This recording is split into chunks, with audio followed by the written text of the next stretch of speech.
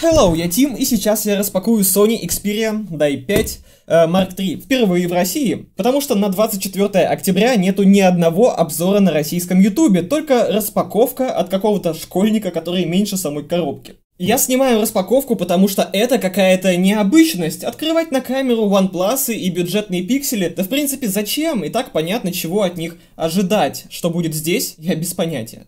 Те же компании OnePlus и Leica выпустили в этом году свои смартфоны совместно с Hasselblad и Leica. Да, Leica сама с собой. Но Sony работает над профессиональным качеством в компактном корпусе уже несколько лет. Они в этом деле первые, и при этом с каждым годом становятся только лучше и лучше. Здесь топовый Snapdragon на 120 Гц и мини-джек, потому что Sony это не только фотография и какие-то производительности. Sony это еще и звук. А об остальном поговорим уже во время распаковки, после того, как мы разберемся с этой коробочкой. Разрешаю смотреть только если вы поставили лайк и подписались на канал, потому что иначе YouTube не хочет продвигать мои выпуски. Пожалуйста, пожалуйста, поставьте. Это первая распаковка на русском ютубе благодаря интернет-магазину Цифрус. У них можно купить оригинальный Mark III по доступной цене. Доставка по всей России, гарантия, ссылка в описании и подарок от канала по волшебному слову Power. Как будто я в сказке.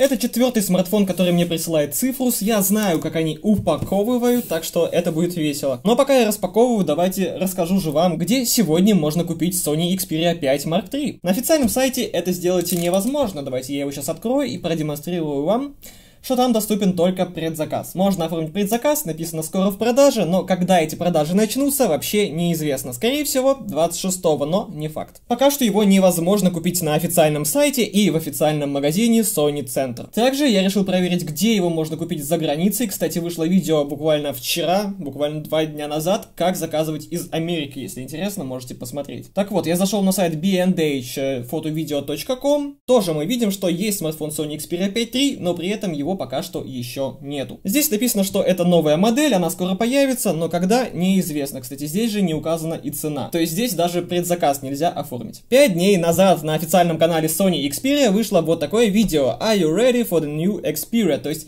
анонс нового смартфона, который состоится 26 октября. Какой это будет смартфон, пока что неизвестно, есть только дата презентации. Я думаю, что это будет Sony Xperia 5.3, именно та модель, которую мы с вами сегодня распакуем, так что по факту это презентация до презентации. Что касается обзоров, которые сейчас можно посмотреть на Sony Xperia 5.3, то он есть всего один, вышел буквально вчера на английском языке. Где-то я его здесь оставил. Вот он, этот самый обзор. Тут есть какие-то характеристики, какие-то быстренькие тесты, но мы с вами все это дело отдельно протестируем. Обзор, конечно же, выйдет и на моем канале, будет спустя, наверное, две недели. Ну да, наверное, так, потому что надо протестировать и камеры, и процессор, там много чего интересного, так что обзор будет полным максимально, но при этом выйдет не скоро. Короче, пока что смартфона нету вообще нигде, даже на официальном сайте и даже в Америке, хотя там обычно есть все. Этот смартфон есть только у Цифруса, я без понятия, откуда он у них, это реально какая-то магия. И та самая заставка, которая у меня сделана в стиле Disney+, явно к месту. Короче, давайте больше не будем с вами говорить, будем действовать, потому что это распаковка, в ней обычно что-то делают, они просто говорят, как у меня обычно это бывает на канале Team Talk. Давайте я включу сейчас камеру, э, специально у меня здесь стоит OnePlus 9R, он будет снимать вам вот этот вот вид. Скажите привет. Смартфон мне прислал цифрус, они запаковывают, вы не представляете как. Сейчас вы узнаете, сколько там пупырчатой пленки, и вы будете в шоке, потому что я заказываю уже четвертый раз у них, точнее, они мне просто присылают на обзор, поэтому ссылка в описании, обязательно покупайте у них, так сказать, поддержите и канал, и цифрус, которые продают его буквально за 70 тысяч рублей, хотя на официальном сайте он стоит 85. Опять же, без понятия, откуда у них этот смартфон, но он 100% оригинальный. Вначале надо придумать, с какой стороны подойти, потому что реально я без понятия. Давайте отсюда попробуем. Осторожно. И с этой стороны тоже. Наверное, вот здесь. Было бы логично. Так, боковые я, в принципе, смог открыть, а вот что делать дальше, не знаю. Давайте вот так попробуем. Так, вроде бы это похоже на, прав... на правду. Так, отлично. Скорее всего, это будет коробка, которая вот так вот снизу открывается и потом еще по бокам. Это вам не Вилсаком, которому приходят посылки уже готовые, типа чисто коробка из-под айфона. Нет, у меня еще вот такая огромная коробка, кстати, она реально большая. Я без понятия, там может быть два смартфона лежит либо это очень длинная коробка, очень большая, как у компании OnePlus. Давайте сейчас покажу. Вот так обычно выглядят коробки от компании OnePlus. Они невероятно большие, красные и тяжелые. Скорее всего, то же самое будет здесь. Иначе оправдать такую большую коробку не знаю как. Кстати, к компании Sony я отношусь максимально лояльно. Я люблю эту компанию, люблю этих японцев, потому что у меня есть приставка. У меня есть целых две приставки. Это PlayStation Vita. Я купил ее, точнее, мне ее подарили очень-очень давно. Это был, наверное, 2012 год. Она вышла в 2011, ну да, наверное, 2012 год. Плюс у меня есть PlayStation 3, четвертую и пятую я еще не покупал. К сожалению, пока не было времени, да и в принципе играть некогда. Я в основном снимаю видео на YouTube. Также у меня есть диктофон от компании Sony, вообще невероятный. Он очень компактный, очень маленький, и причем это самый первый обзор на канале. Вот так вот.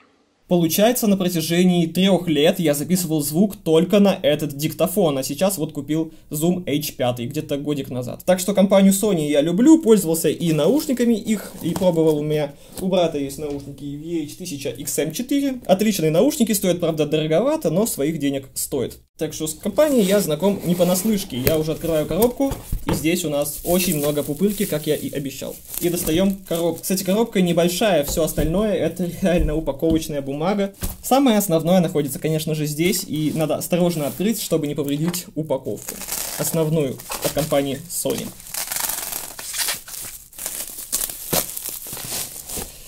Так, проверяем. Все официально. Здесь есть официальные пометки. Смотрим на коробку, видим, что это официальная модель. Скорее всего, она приехала из Китая. Китайская модель для китайского это версия 5G. Напоминаю, что в Sony Xperia 5 Mark II не было 5G модуля, был только 4G, LTE, вот это все, но 5G не было. Если вы живете, если вы живете в Европе, то вам 5G понадобится. Если вы живете в Америке, вам тоже понадобится 5G модуль. Но поскольку вы, скорее всего, живете в России, либо в странах СНГ, потому что вряд ли меня смотрят англоговорящие люди, собственно, смартфон, э, поэтому вам, скорее всего, 5G не нужен. Я не эксперт, конечно, но, по-моему, это японский. Короче, я потом еще раз все это проверю, и вот здесь вот сейчас написано, какая это модель. Япония, Китай, может быть, это какая-то Тайвань, не знаю. Здесь все инструкции, понятное дело, не на русском, здесь они на японском. Да, это должно быть японский язык. Тут вроде бы есть даже русский, да, тут есть даже русский. Написано руководство по запуску. Написано все это дело на русском. По картинкам можно понять, как ставится сим-карта, как переносятся файлы, как работает сканер отпечатка пальцев, как его настроить. Да, здесь есть сканер отпечатка пальцев в кнопке включения, и это очень удобно. На самом деле, я никогда не пользовался таким сканером, у меня был сканер под экраном, есть сейчас в OnePlus 7T Pro, у меня был сканер сзади, это в пикселях, а теперь есть еще и такой вариант попробовать. Давайте, собственно, это и сделаем. Достаем смартфон, абсолютно чистейший, Тут есть пленочка, давайте ее снимем. Вот на эту камеру. Все. Можно сказать, смартфон распакован. На самом деле он очень компактный. Я прям держал вот буквально неделю назад Pixel 5a 5G. Это очень компактный смартфон. Он достаточно тонкий, при этом он небольшой, он очень маленький. Здесь диагональ 6,1 дюйма, да, достаточно компактный, но при этом 21 к 9 реально выглядит необычно. Самое главное, что он тонкий, а значит поместится вообще в любую ладонь, в том числе даже в мои небольшие ладони он помещается. Здесь мы видим адаптер на японскую розетку. Японская розетка, в принципе, это не проблема, можно купить переходничок абсолютно любой. Вам понадобится вот такой вот переходник и все. Делов-то вот так вот сделать и все. Э, кабель здесь абсолютно черный, никакого Apple здесь не будет в белом цвете. USB-C на USB-C, это отличный вариант. В коробке больше ничего нету, вот такая конструкция, хорошо хоть что положили сюда адаптер, а то зная компанию Google и компанию Apple с их этими новыми тенденциями, которые теперь вообще, вообще не кладут адаптер в коробку, и это проблема, если вы заказываете из Америки. Вам придется отдельно еще докупать блок, где-то в России, либо в США. Если в случае с айфонами это не такая уж и проблема, то в случае с Google Pixel оригинально оригинальный найти очень сложно. В комплект вообще не положили ничего необычного, никаких вам наклеек, никаких вам стикеров, как это делает компания Apple. Все серьезно, только то, что действительно нужно. В принципе, это философия этого смартфона. Здесь нету никаких наворотов, здесь даже 120 Гц дисплей, который мы сейчас с вами протестим. Здесь невероятно большой телефотомодуль, я даже на него отвлекся, когда рассказывал вообще о другом. Короче, здесь 120 Гц, но при этом нету частоты, которая постоянно меняется. То есть, если у iPhone и у нового Google Pixel 6 это у Google Pixel 6 Pro, у них от 10 до 120 Гц. Это значение постоянно меняется в зависимости от того, что вы делаете на смартфоне. Если вы играете в игры, понятное дело, у вас будет повышенный FPS, но если вы смотрите фотографии, либо читаете сайты, то у вас будет пониже. Э, здравствуйте. Кстати, подожди, пока ты не ушел, возьми вот этот смартфон и потрогай, как он тебе. Он компактный или нет? Это 6,1 дюйма. Как ты думаешь, сколько он может стоить? Стекло и там, и там, да? Стекло и там, и там. И там, и там находится Gorilla Glass 6. Тоненький, удобненький, соотношение приятное. Я не знаю, слышали вы это или нет, но он сказал тоненький, удобненький, соотношение приятное. Ну, по-моему, он тоньше, чем вообще все смартфоны, но при этом он вытянутый. Карманы, конечно, нужны будут очень большие. Ну, мне кажется, это всяко лучше, чем iPhone mini. Так, кстати, я буквально два раза взял смартфон в руки, и он уже заляпался. Если вы видите на этой камере, он уже весь заляпан. А где найти оригинальный чехол, я даже не знаю. Ты что шумишь? Я реально, на официальном сайте вообще нет ничего. Смартфон не купить, э, только настройки всякие есть функции. Чехлов здесь нет. Во, сопутствующие продукты. Реально, в сопутствующих продуктах нету чехла. То есть, к ним даже не выходят чехлы.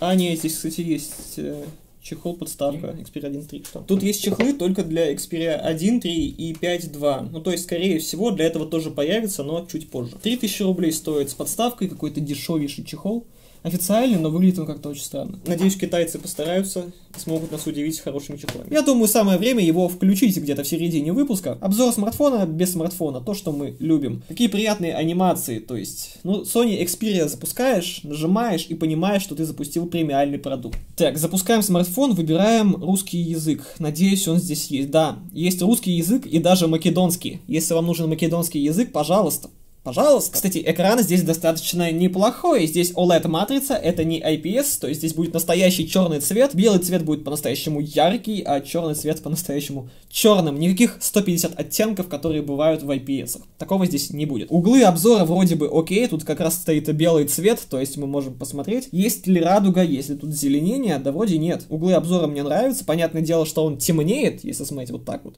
и вот так вот, но при этом радуга и какие-то зеленые оттенки не появляются. В этом плане все четко. Здесь не суперское разрешение экрана, давайте сейчас открою цифру, у них есть характеристики, можно посмотреть. Здесь у нас 2520 на 1080, как я и говорил, это не 4К дисплей, ну, в принципе, дисплей компактный, так что если бы здесь было 6,7 дюйма, то вот тогда бы, в принципе, может быть, вы уже и видели пиксели при таком разрешении, но поскольку здесь разрешение небольшое и диагональ в том числе небольшая, пикселей, пикселей здесь не видно. Ну, давайте попробую их разглядеть, если вам интересно. Нет, пиксели я рассмотреть не могу. Все достаточно четко. Даже если смотреть вот так вот, все отлично. Пикселей нету. Принимаем все соглашения. Если меня сейчас попросят подключиться к сети, я это пропущу. Уже потом поставим симку. По-моему, здесь их вообще две штуки можно поставить, если я ничего не путаю. Кстати, еще из плюсов, прям только что прочитал, здесь есть слоты для карт памяти. Я этого не знал до того, как начинал снимать эту распаковку, но сейчас прочитал и прям понимаю, что это большое преимущество преимущество на фоне тех же самых Google Pixel и на фоне айфонов, потому что у них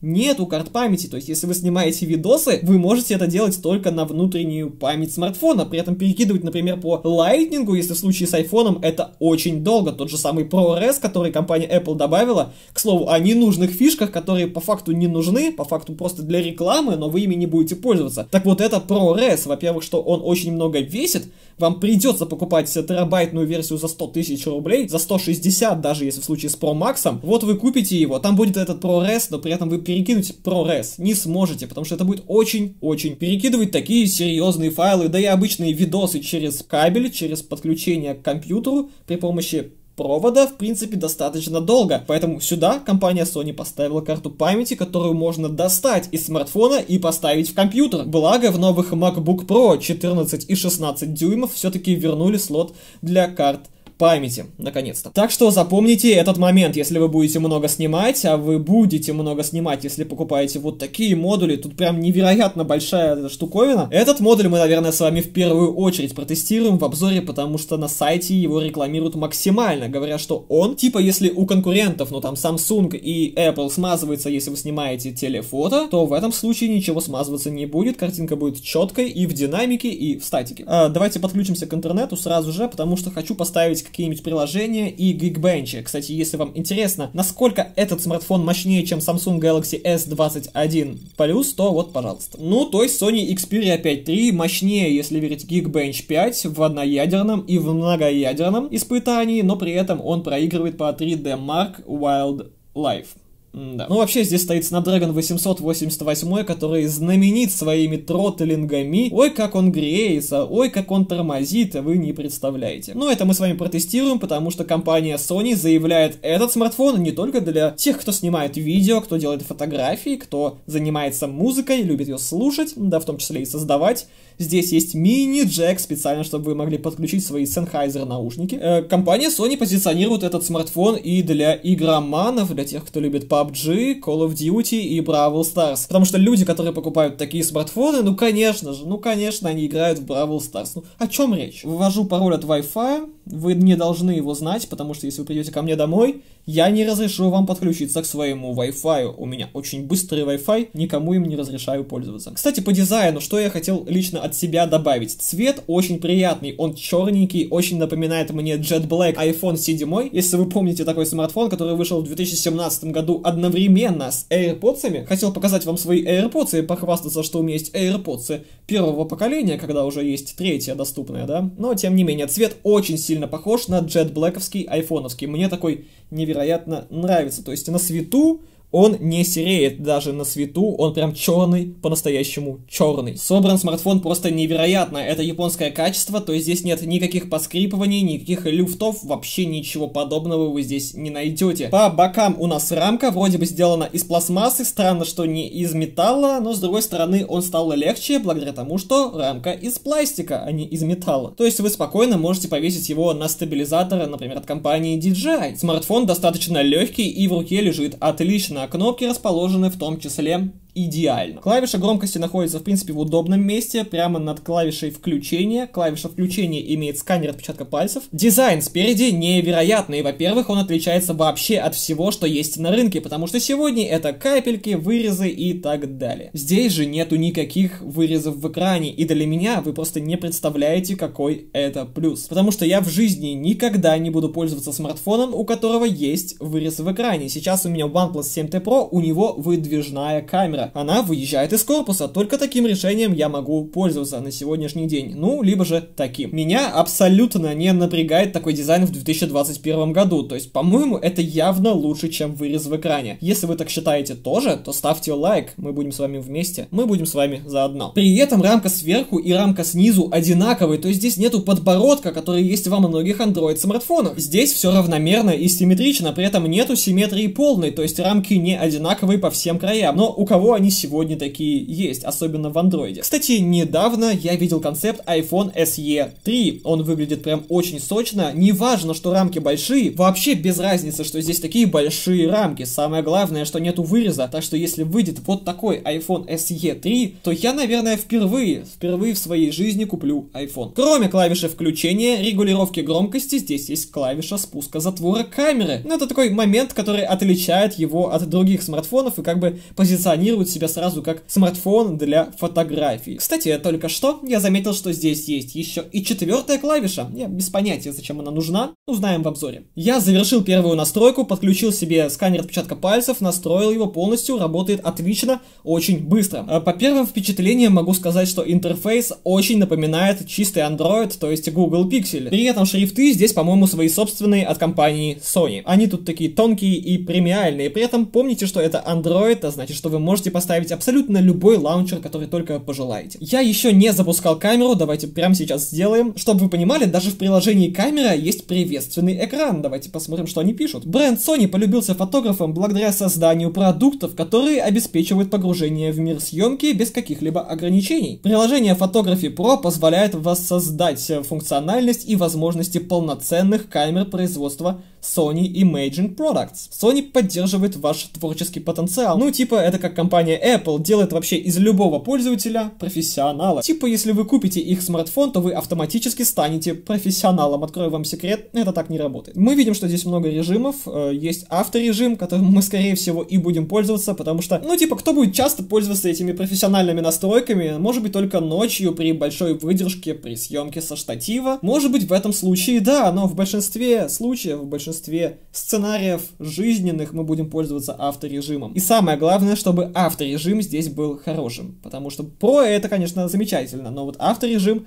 то, что нас интересует. Ну, потому что если вы что-то фотографируете, типа приехали в Италию, фотографируете Пизанскую башню, либо куда вы там приехали, вы будете просто доставать камеру, нажимать щелчок. А, нет, кстати, щелчок здесь нажимается вот так вот.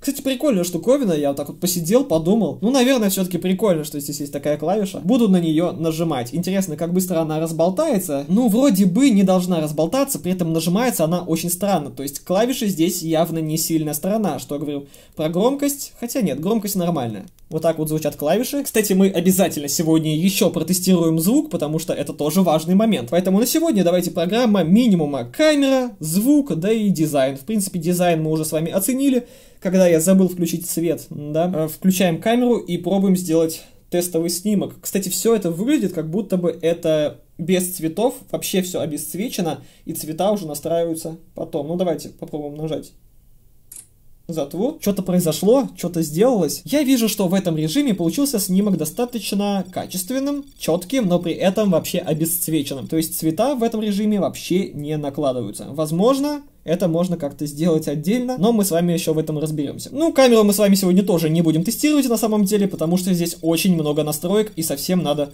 разобраться. Вот так вот. Опа, и давайте попробуем телефото модуль. Щелчок прикольный, давайте попробуем при помощи клавиши. А, я понял, почему такая клавиша. Я ее вначале ругал, думал, что она такая расхлебанная, очень плохая, но на самом деле здесь клавиша, если вы нажимаете пополам, ну то есть половинку прожимаете, она фокусируется. И только когда вы ее прожимаете, она делает снимок. Чтобы вы понимали, это как на профессиональных фотоаппаратах. Ну, на самом деле на любых фотоаппаратах такое есть, но тем не менее, как будто у вас реально в руках фотоаппарат. Это прикольно. Как видите, я даже успел сделать несколько тестов сделал фоточки, ну и теперь видео. Это 4К на основной модуль 1x, так сказать. Давайте попробуем переключиться на широкий. А это уже широкий угол, но, по-моему, 1080p. Ну, пишите в комментах, как вам. Это видео на фронтальную камеру доступно максимум 1080p. В принципе, большего и не надо. Для звонков по зуму достаточно. Из того, что хотел бы отметить, э, очень удобно пользоваться на улице, в том числе и в перчатках. Смартфон не выскальзывает, он достаточно тонкий и лежит в руке. Идеально. Клавишу включения я бы поменял с клавишей регулировки громкости, потому что привычнее, когда она сверху, а регулировка снизу. Возможно, это чисто моя придирка. Окей, тестируем звук, и на этом сегодня заканчиваем, ну, потому что чего вы хотели? Конечно же, мы с вами не будем сегодня прям все-все-все тестировать. Запускаем YouTube, например, какой-нибудь, не знаю, очень сложный жанр не будем, давайте The Weeknd. Э, у него вышел новый трек, давайте его с вами, собственно, и заценим. Там очень прикольная заставочка. В общем, достаточно громко, достаточно чисто. Вокал, тем более, будет звучать нормально. Потом проверим басы с вами уже в обзоре. Здесь есть очень прикольная функция, буквально только что ее для себя открыл. Динамическая вибрация в Ютубе. Что это такое? Это, по факту, 5D звук. То есть, когда что-то воспроизводится на Ютубе, та же самая музыка, смартфон это понимает и предлагает вам включить динамическую вибрацию. То есть, при помощи моторчиков отрабатываются все басы и какие-то изменения в музыке. То есть, например, вот так вот он вибрирует в такт музыки. Вот я сейчас включил эту функцию, я нажимаю play, и он понимает, что играет музыка, понимает, когда начинаются такты, когда бьет бит, и этот бит он повторяет при помощи вибромотора, и это отдается вам в руки. Очень прикольная штуковина, такого я еще нигде не видел. Ну и плюс стоит помнить, что это компания Sony, поэтому сюда можно подключать DualShock 4. Ладно, больше я вам ничего не расскажу, все остальное будет в обзоре. Я только что подержал в руках этот смартфон и этот, они одинаковые в высоту, но при этом в ширину абсолютно разные. Этот сильно шире, этот сильно уже. Этот смартфон ощущается совсем иначе. Вот когда я включил клип Уикенда, там было разрешение соотношение сторон 21 к 9. Это прям было заметно, и если вы будете смотреть фильм, фильмы, планируете смотреть фильмы и клипы, которые сняты 21 к 9, то этот смартфон прям для вас. Очень прикольно, когда нет этих рамок сверху и снизу. При этом у вас еще появляется компактность, то есть смартфон очень узкий, вы просто не сможете его никак выронить. Моя небольшая ладонь полностью сжимает этот смартфон, то есть вот так вот у меня не получится. Здесь у меня так идеально. Очень компактный, очень приятный. Сразу понятно, что это флагман из-за стекла сзади и спереди. При этом вроде бы здесь пластмассовая рамка, как я и говорил, но, блин, не такой уж прям и минус. Все равно, наверное, будете носить в чехле, потому что смартфон ляпается очень сильно. Ну и здесь есть камера, она, в принципе, выступает из корпуса, поэтому, скорее всего, вы купите чехол, чтобы она не выступала, чтобы он не разбился при первом падении и так далее, потому что смартфон реально дорогой. Обзор на этот флагман выйдет уже совсем скоро. Вот вам эти смартфончики. Вот так вот, лицом к лицу лицу, так сказать, спина к спине. Также на этом смартфоне будет очень удобно пользоваться сразу двумя приложениями, так сказать, screen, разделение. Например, сверху вы смотрите какую-то презентацию, а снизу сразу же в это время пишете какой-то текст, например, если вы блогер. В принципе, я могу вам советовать этот смартфон прямо сейчас. Сомневаюсь, что здесь будут какие-то прям большие проблемы, потому что это третья модификация того же самого смартфона Sony Xperia 5. Здесь все доработано, доведено до ума и, в принципе, стоит своих денег, так что вместо какого-нибудь айфона классического, который есть вообще у всех, или, например, Samsung Galaxy, я бы советовал взять вот этот вариант. Плюс для многих, я знаю, очень важно, что здесь есть мини-джек во флагмане. По-моему, только компания Google сегодня, и то в бюджетнике ставит эти мини-джеки. Во флагманах их вообще не найти. По факту, это было бесполезное видео, вы зря потратили время, я просто хотел застолбить место самого первого обзорщика э, на YouTube, самого первого быстрого обзора и распаковки на этот смартфон. А пока пишите в комментариях, что отдельно проверить, возможно вас интересует что-то конкретное, я это обязательно проверю. Лайк, подписка, пис. Пока.